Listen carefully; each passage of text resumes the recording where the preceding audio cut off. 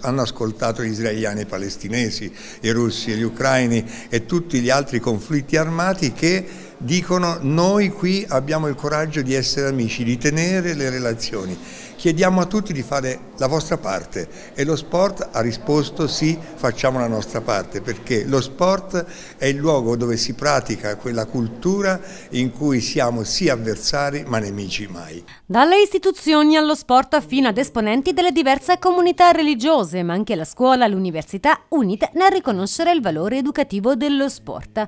Sono state infatti oltre 60 le persone che si sono riunite attorno al tavolo nella cittadella della pace di Arezzo accogliendo l'appello di Rondine Sport for Peace, avversari sì, nemici mai. Penso che lo sport sia uno strumento abbastanza efficace per fare il dialogo e si può considerare come il mezzo per uh, mettere uh, le parti divise dovute dai conflitti insieme per avere questa gioia dello sport che ci dovrebbe unisce. Dobbiamo diventare parte della soluzione perché oggi la pace eh, richiede azioni concrete.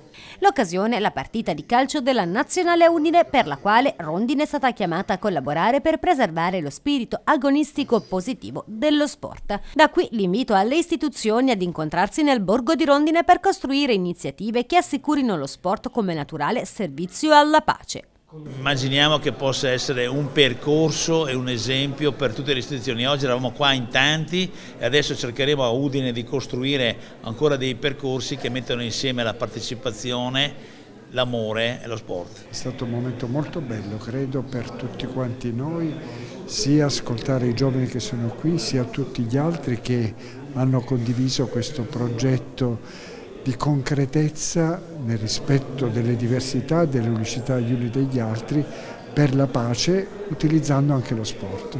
La ragione dell'essere qui è il tema proprio di saper dare concretezza tra quello che è il conflitto che lacera tutti noi e ci distrugge ogni giorno e qui saper dire noi però affermiamo il valore della convivenza.